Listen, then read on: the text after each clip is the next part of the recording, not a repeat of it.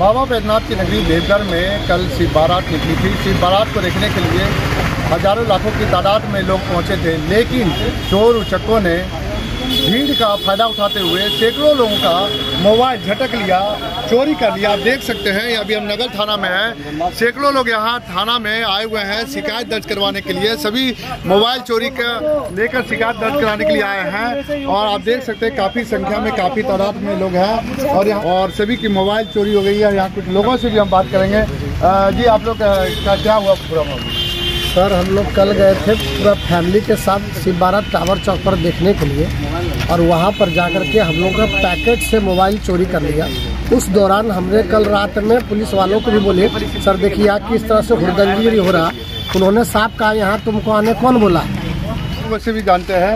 आप बताइए कि आपकी मोबाइल कैसे चोरी हुआ? कल हम लोग सब सारी बहन लोग सब साथ में जा रहे थे वहाँ पे जाते जाते फिर एक पॉकेट में फ़ोन दोनों रखे थे। तुरंत रखे ही और भीड़ में जैसे हम गए तुरंत फ़ोन निकाल लिया गया। पैसा भी था पैसा भी छीन लिया गया। उसके बाद फिर हम जैसे बाहर आए देखते मेरा दोनों फ़ोन गायब है। अभी आप लोग कहाँ आए? आप लोग हम लोग सब थाना में आए। उसके बाद तुरंत थाना गए सागर थाना गए। वहाँ से कुछ पता नहीं चला। बस बोले थोड़ा एप्लीकेशन लिख के देने के लिए एप्लीकेशन लिख के दे दिए। सब कुछ सर लोग बोले अभी की फ़ोन मिलेगा तो हम लोग बोले फिर नेक्स्ट संडे को आएँगे तो सर बोले नहीं अभी किसी को आने जाने का कोई ठिकाना नहीं है। बस मिलेगा तभी बताएँगे। क्या आश्वासन मिला आप लोग को जो कम्प्लेन किया? कंप्लेन किए तो बड़ाओं ने बोले कि जो है डेढ़ डेढ़ सौ की सैकड़ा में जो है आया है आरोपी आवेदन। उस पर हम जो है जाँच पड़ताल करके आपको जो है मिल जाएगा। अब शिव बारात देखने के लिए सभी कोई गए हम लोग सारी बहन सब भी गए थे और साथ में भैया सब भी थे। और उस भीड़ में जब इतना बड़े बड़े लोग का जब फ़ोन चोरी हो गया तो हम लोग तो फिर बहुत ही वीक थे। लड़की होकर के हम लोग वहाँ पे गए।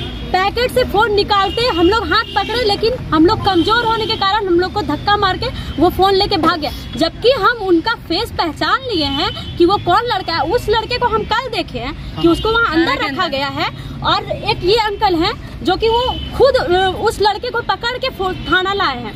फिर भी उस पर कोई पुलिस कार्रवाई नहीं कर रही है कि उससे एक बार भी पूछे कि फ़ोन कहाँ है। सी बारात के क्रम में चूँकि काफ़ी भीड़ था कुछ लोगों द्वारा जो मोबाइल मिसिंग का शिकायत दिया गया है। उसमें हम लोग उसमें हम लोग काम कर रहे हैं। सारे मोबाइल का जो भी टेक्निकल रूप से काम करके वो रिकवरी करने का प्रयास करेंगे।